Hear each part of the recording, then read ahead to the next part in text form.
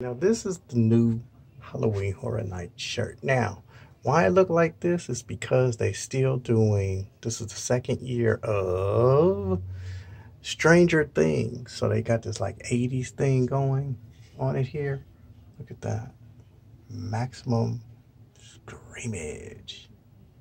See that? This shirt cost me $28. These shirts are going up. Because it used to be like $25, $19, $25, but they're going up.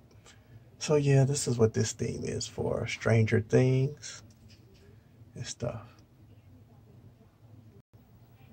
Now, this is what is going to be at Halloween Horror Nights this year. Now, tonight I go, they got a, like a video game 80s theme on this shirt. See with the monster's hands playing the games, but you got Stranger Things. You got Killer, Killer Clown House of Thousand Corpses. I think that's been there before. Monster, Universal Monsters. That was last year's Frankenstein. Meet the Wolfman, Walking Dead. That's the attraction that's always there. Holiday in Hell's, Creepshow, and what is this? The Curse of Pandora's Box. I don't know what that is. So, I don't know what ter uh, Terror Tram is. That's the thing.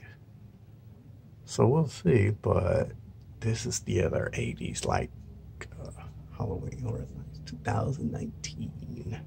Now this is nearly like last last year's was the second Stranger Things because there wasn't blood on the shirt like previous years, so they like this is the second year of Stranger Things with the T two t-shirts like last year. So this is it.